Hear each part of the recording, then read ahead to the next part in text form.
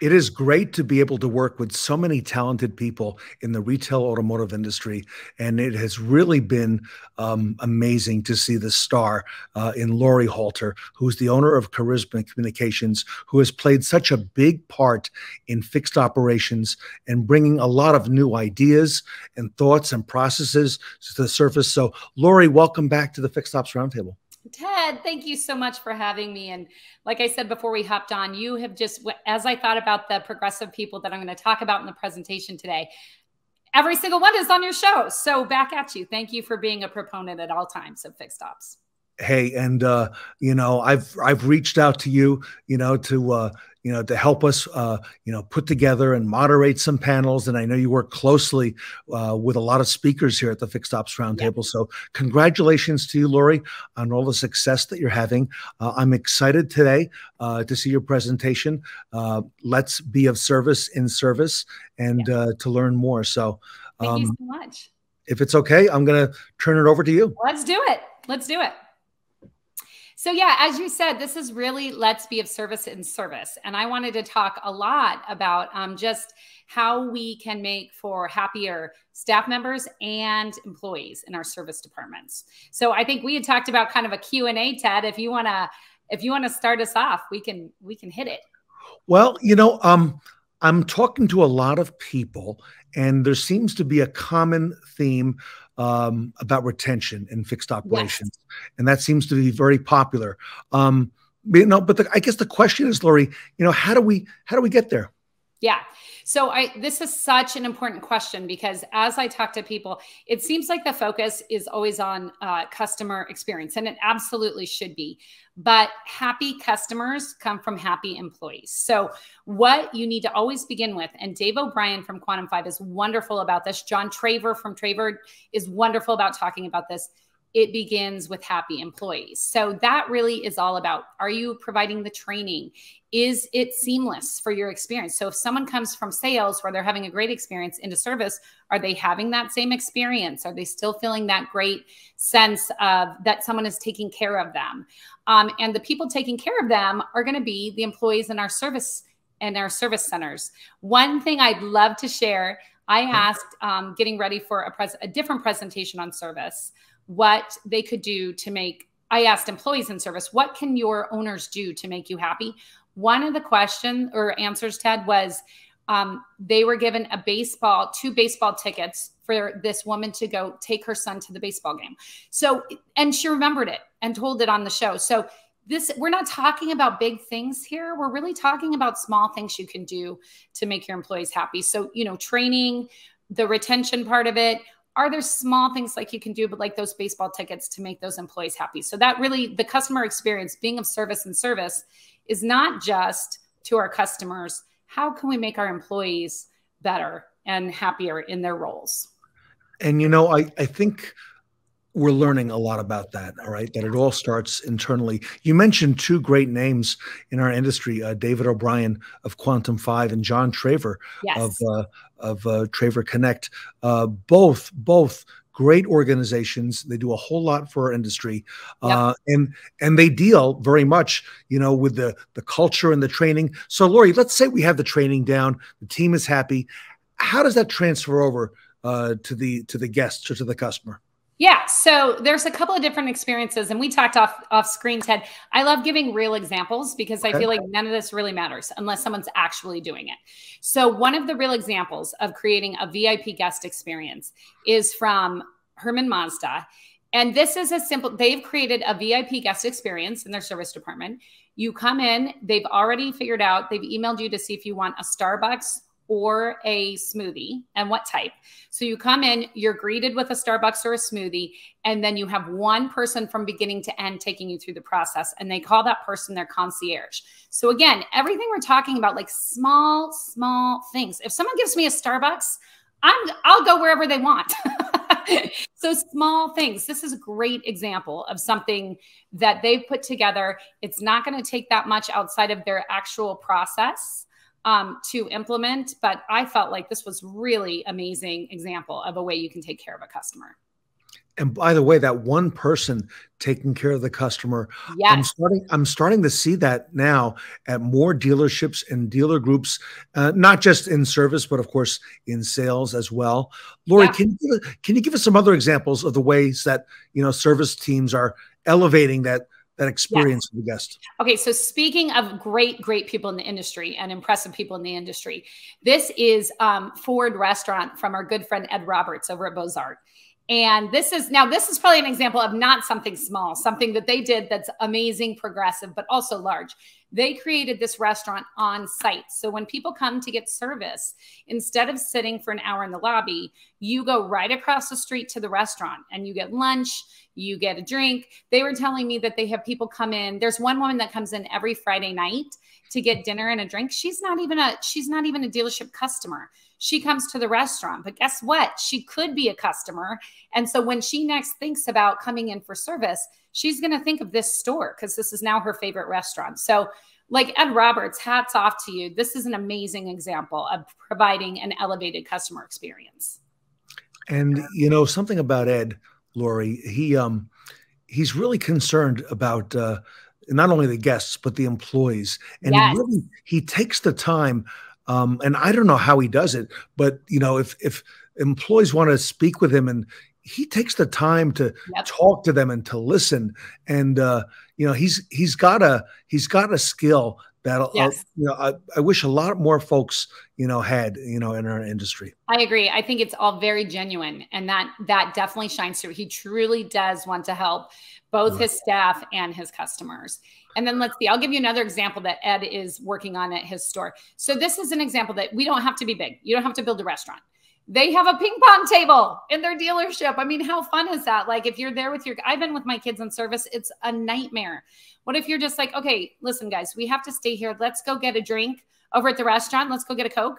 And then let's come back and play ping pong. I mean, just another great example of something very, very easy and I think this might even be staff who's playing ping pong. So, you know, another example of staff and customer uh, uh, experience that you can just elevate in the smallest of ways. I, I, think I think a lot of families would, you know, a lot of kids would want to come to the dealership. Yeah. I think also I don't have this in a picture of this, but I'd love to see a picture. I believe Ed told me at one of their dealerships they have a pump track outside, and they invite people to come by with their kids to be the pump, like do their bikes on the pump track. So just all great ways to bring people to your dealership and your service department that have nothing to do with service and everything to do with being a part of the community and creating a customer experience that's really elevated above everyone else in your community and you know so many great examples laurie um, and i see more and more dealership groups and uh, you know david o'brien was talking about that on the event as well. Uh, any thoughts about where we're going you know with the future of service you know to continue to better serve the guests? Yeah, so um, I have a couple of different things, and this is really this is really amazing. There's so these are again just real examples of people that have what they've talked about a lot of service departments are now putting together VIP packages that they leave in their car. And so it can be like this one's a great example of, you know, movie night. And so this um, individual dealership leaves a guest package in every car and it's got some movies and some cute like popcorn, candy. You know, this is an easy, easy way you can do that. Um, I was talking about again, like everyone I have, like I said at the beginning of the show, everyone that I'm giving examples of is a big um, is a big guest on your show. But Traction, which I know is one of the sponsors, I was talking with uh, one of their members, and he was saying that he recently received a gift in the mail from the service department of his dealership for his anniversary. And let me be clear, it was not his anniversary of the, becoming a customer of the dealership. It was his wedding anniversary. So when he came in, they had gotten the date of his birthday, his wedding anniversary, and a couple of other key dates, and they send gifts in the mail. So they were surprised. And I believe he said it was, um, I think it was champagne flutes. But what a great idea to remember someone's wedding anniversary. And we were in a crowded room. Dan, I'm sorry, Dan Barris was the person. We were in a crowded room, and he was explaining to us all this had made such an impression that he was talking to 20 other people about getting this wedding anniversary gift. So, like, this in my mind is just another really great example of something that did not cost them a lot of money. But when they put it in his car, it was on the front seat of his car. Um, you know, he remembered it and spoke about it in front of a group of people. So as we're thinking through how can we really elevate the customer experience and show them that they're important to us, what are some small ways like the ones I've just gone through that you can make them feel special and it does not have to be big? And you know, with the amount of money that is paid by OEMs and then by dealers yes. you know, to retain customers or to attract Laurie new, new customers, uh, yes. right? Um, look at all the little things that we could do and a lot of the suggestions that you're mentioning here that make so much sense and you know in the case of dan Berris at traction you know probably won them over a customer for life oh 100% not only a customer for life but then he's spreading the good news to all the other people in the room um, a couple of things of where we're going uh, UVeye, which I believe has also been on your show, mm-hmm. they have scanning technology that allows. Now, moving on from just kind of the gifts, they have scanning technology that you can bring your vehicle in, it scans the entire vehicle and then gives the pictures to the customer. So I think another thing that we're really seeing is transparency. How can we ensure that the customers trust that what we're saying to them actually needs to happen? And so I think as we look forward, um, for your attendees, it's really a matter of how can we create a transparent experience? Is that pictures? Is that a video walk around? TruVideo does a great video walk around um, you know, what are the areas that we can improve to really build that trust that they, what they're seeing is actually happening within the vehicle? Yeah, and um, and you touched on it just now as well. Another word uh, that I'm hearing a whole lot of, Laurie, in our industry is transparency, being transparent yes. for the customer. Yes. And uh, in service and parts, transparency didn't really come up a whole lot. Um, we started seeing that in the finance and business office maybe a few five, ten years ago. Yep. Uh, I think a lot of that accelerated in the last two, two and a half years uh, with transparency.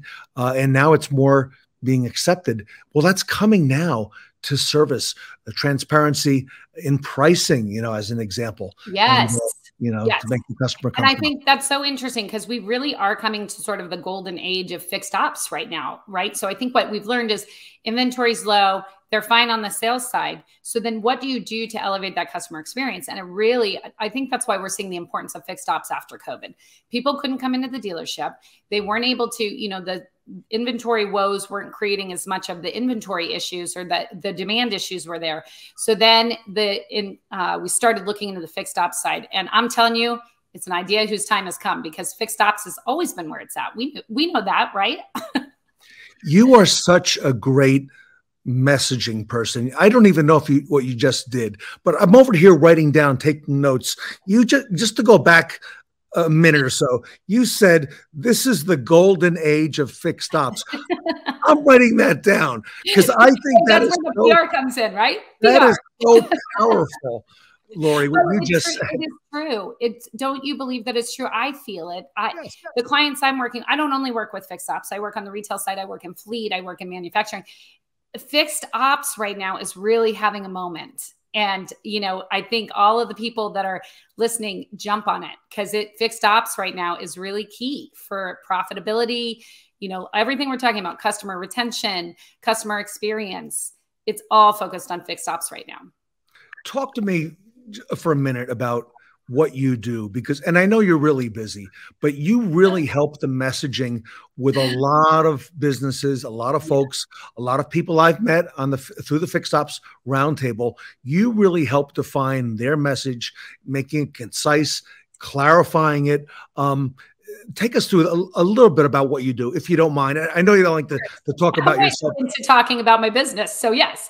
Um, so we really, uh, we really, I think of myself as a content creator, and strategist. So it's really how can we take the content needs of these companies, whether it's a press release, social media, um, articles, shows like yours, speaker submissions, and clarify the message and really differentiate these companies in the marketplace because there is a lot of companies that on the outside look like they're doing the same thing. And truthfully what you need is to zero in on what are you doing best. And to put it back around to what we began with that comes with how do you best serve your clients? How do you best partner with these clients? Not a vendor partner.